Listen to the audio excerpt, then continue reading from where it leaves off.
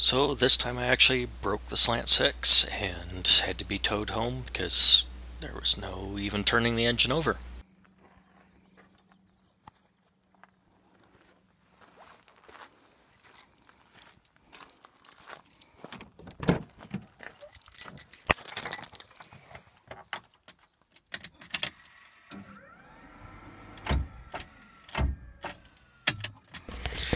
So last video I did where I uh, had to haul this, this Duster home, I, I, had one commenter say that it's an oxymoron to uh, say a broken slant 6, but uh, reality is all machines will break. And this one is a fairly common failure, um, especially with modern oil pumps, but let's kind of get more into what happened. So there's a couple reasons I know this is a oil pump issue, and First is some point on the morning commute to work, I saw the oil pressure gauge was reading zero. Now, I'm running an AutoMeter um, stepper motor type gauge, and it's fairly common that that fails to go through the boot sequence. The other ones seem to be fine, but the oil pressure just randomly doesn't make it through the start cycle. Normally, I uh, make a note of this in my head and just don't worry about it. Uh, I have two pressure sensors on the car. One is strictly for the ECU and the other's for that AutoMeter gauge.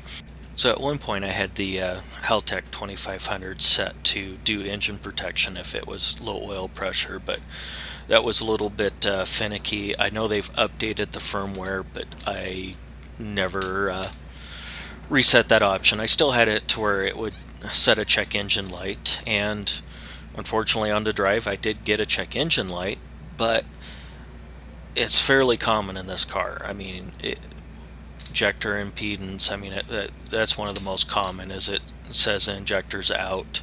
I don't know if it's quality injectors and how they're measuring it, but uh, yeah, I uh, checked real quick and I had nothing with me to check what that particular check engine light was for, and car was running just fine. So I figured it's one of these common faults I get with the Haltech. So in a little bit farther down the road, I notice on the Banks iDash that the oil temperature was actually quite low. And it was at that point I realized that I probably was in trouble. And part of the reason for that is the oil temperature on this one is in line with the feed line to the turbo.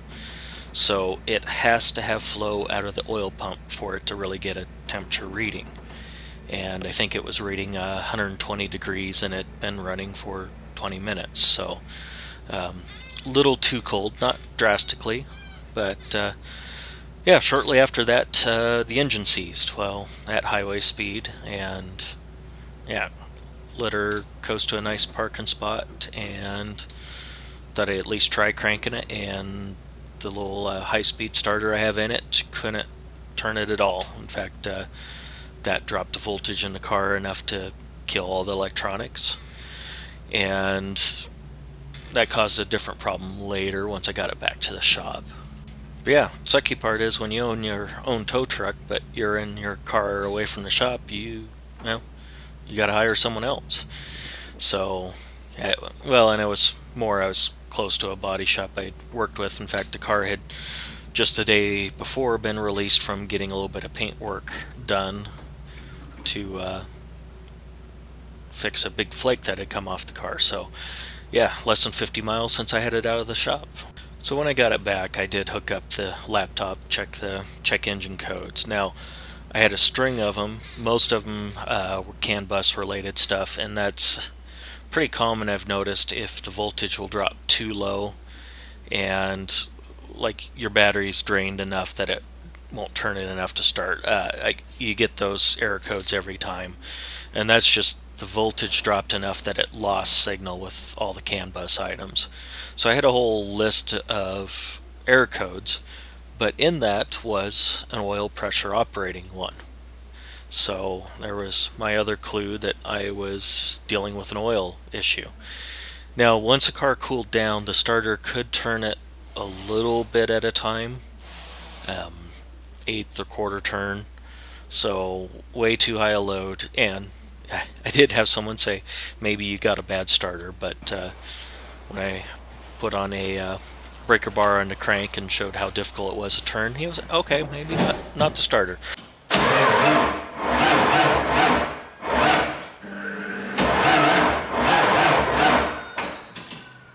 Now another factor that really showed this was a oil issue is when I was side of the road just after it stalled. the only thing smoking and smoking quite a bit was actually the turbo. And that's not a good sign. I mean, either you lost coolant, which probably won't smoke it if you're not driving hard.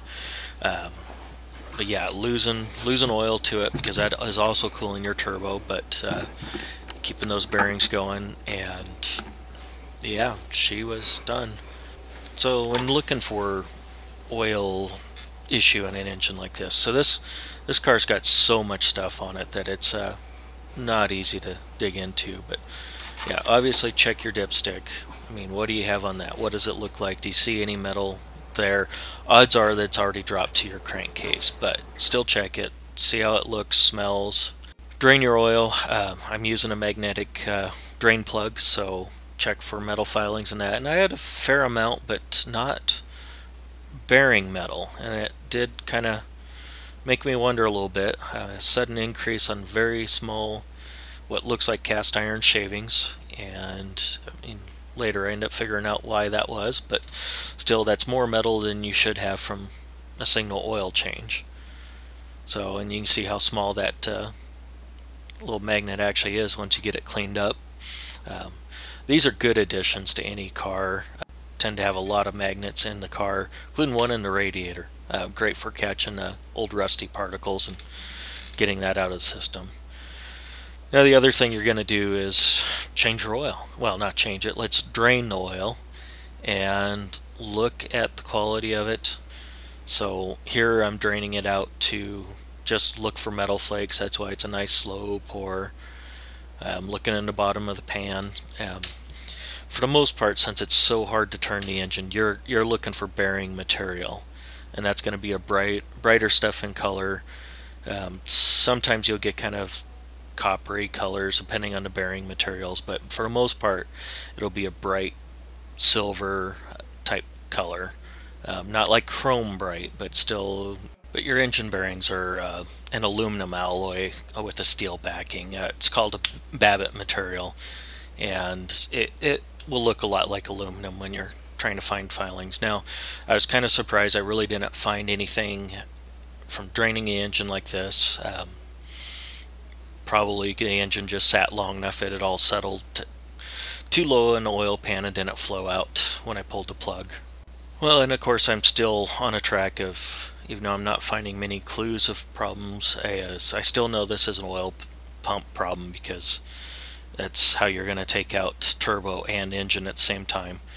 And so I pulled a distributor which runs on the same camshaft gear as the oil pump it runs a plastic gear, so I figured if I saw any damage there, odds are that cam gear or oil pump, because if the oil pump gear goes bad, it's probably going to get some metal in that plastic. It was in surprisingly good shape, so my next step was let's cut apart our oil filter, look inside for any metal material inside that, and yeah, it was actually pretty clean.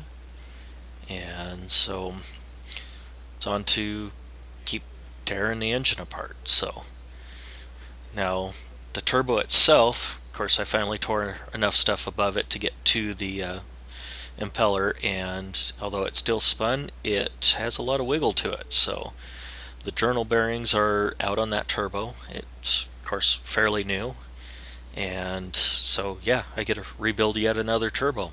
Yay! But yeah.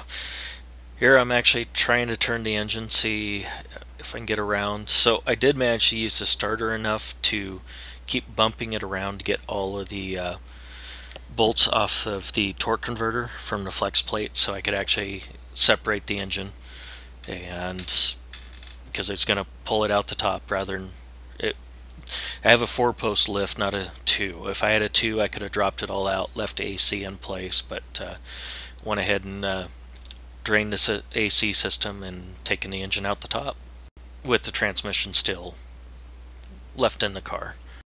So in this car I've got to drain several different coolants and Freon and power steering. It's There's a lot of fluids to drain.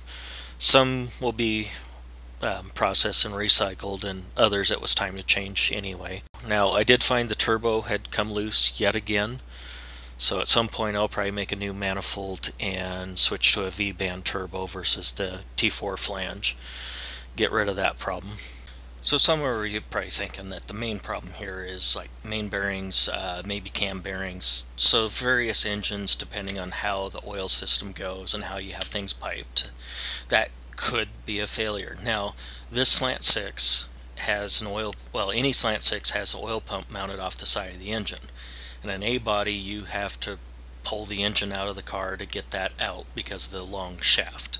You can get the bolts off, but you'll never get it pulled out. You might be able to jack the engine around depending what you have in there. But since I can't turn the engine, obviously, I have to pull it anyway. So, went ahead and pulled the oil pump because it's the only thing that could take out the turbo and the main bearings at the same time. So, didn't know if somehow the pickup screen got clogged. Judging by how clean it was in the engine, taking the head off, all that, that was highly unlikely. Uh, you know, maybe this the pickup screen was gone and something got picked up and put in the impeller and seized it. But um, no, reality is is what um, I've seen on the Slant Six forums is a fairly common problem nowadays is inferior drive gears on modern oil pumps, and wouldn't surprise me if, since this engine rebuild was done 27 years ago, that uh, I probably got one of the early ones with bad gear. In the 60s, 70s, and 80s, Oh, Australia has been accepting Wow. acid in the brake. Now, bear in mind, this rebuilt engine has been on the road for 27 years and 100,000 miles. Most of the engine could probably just be overhauled, throw back in. I'm not going to. I'm going to rebuild an engine for this. But uh, yeah, it was pleased with most of the condition, but not this oil pump.